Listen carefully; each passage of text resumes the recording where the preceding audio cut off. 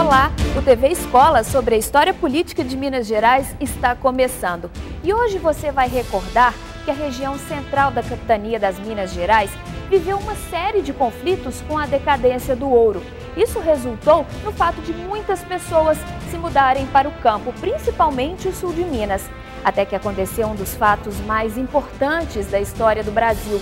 A família imperial e com ela toda a burocracia portuguesa se mudaram para a colônia mais rica em 1808.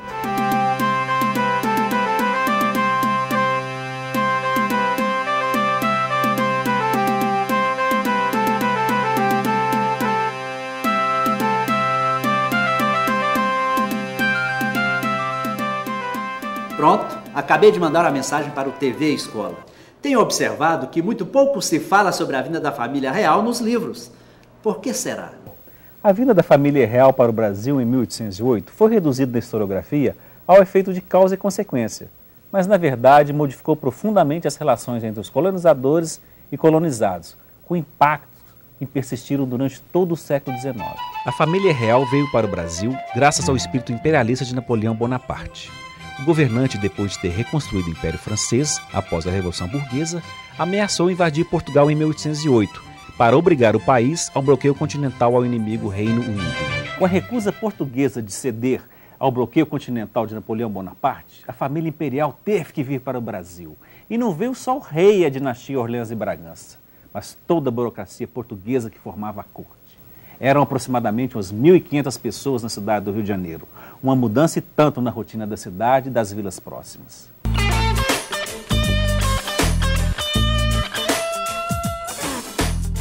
Eu achei que foi péssimo, né? Porque eles estavam acostumados a uma vida muito tranquila. De repente, uma aglomeração muito grande de pessoas, então deve ter causado vários transtornos. Primeira impressão que eu acredito que tenha sido foi de espanto, né? Com toda aquela pompa toda que existia em Portugal na época, né? Eu acho que foi um misto de curiosidade, fascinação e medo. Uma invasão, de uma certa forma, porque ia sofrer várias transformações dentro aqui da nossa colonização. É, uma delas foi a própria escravização. O primeiro grande impacto foi a mudança de tanta gente. Também podemos supor que houve um certo deslocamento do imaginário, já que nossa história passava a fazer parte da história de Portugal. Neste momento, nos tornamos mais europeus e menos americanos. Passamos a fazer parte do conceito de nações civilizadas. Nunca é demais lembrar que a colônia em fins do século XVIII e início do XIX tem população semelhante à de Portugal, entre 3 e 4 milhões de habitantes. Com esse fato histórico, tornamos-nos europeizados, graças a essa transmigração da alma portuguesa, que aqui chegou e se estabeleceu. Criou-se uma corte, uma cultura singular no Rio de Janeiro, que teve um impacto imenso no sul de Minas Gerais. A massa humana que chegava com a família imperial ao Rio de Janeiro em 1808 teria que se alimentar todos os dias. Portanto, era necessário um abastecimento de gêneros de primeira necessidade o tempo todo. Era a corte, capital do Império Português, que, embora no início do século XIX, estando já decadente, ainda tinha uma força política muito grande, pois vivia-se o antigo regime de uma monarquia absolutista. Data daí a conformação geográfica do sul de Minas, pois houve uma migração interna em que quase toda a população foi criar porco, galinha, produzir queijo e tocinho, ali no sul de Minas, incluindo a Zona da Mata. Tudo isso para abastecer o Rio de Janeiro. É por conta deste fenômeno que Minas Gerais passa a ter característica rural e deixa o modelo urbano característico do século anterior.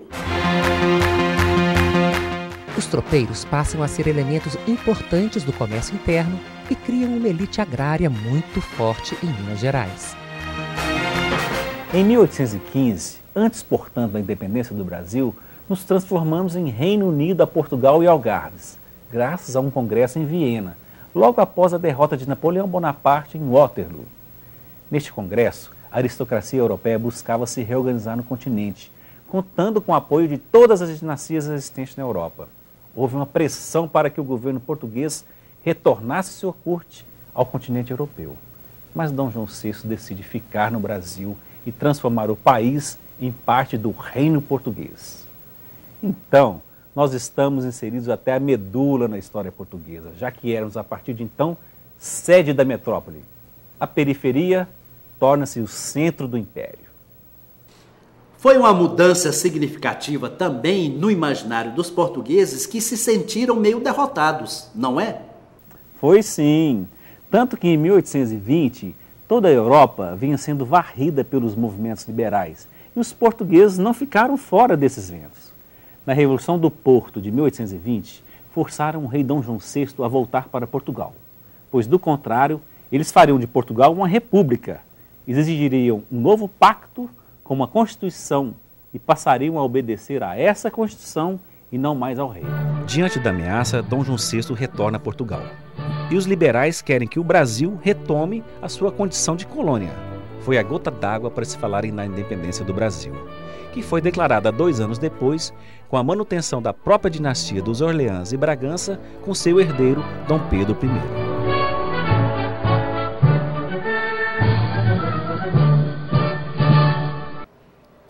interessante aprofundar na passagem da família real pelo Brasil colônia e constatar que estávamos intrinsecamente ligados à história de Portugal. Mas nem aqui no Brasil, nem na Europa, o rei já não mandava mais em tudo. Mas no Brasil a monarquia ainda é de alguma força. Apesar disso, as monarquias se reorganizam. E com o liberalismo, já não há mais espaço para as monarquias absolutistas, nas quais o rei mandava e desmandava, tendo direito sobre a vida de todos os seus súditos. E as relações privadas e públicas eram tênues e mescladas. Há um movimento político internacional para que os monarcas respeitem os textos constitucionais. É o constitucionalismo. Mas esse é um assunto que nós vamos ver na nossa próxima teleaula.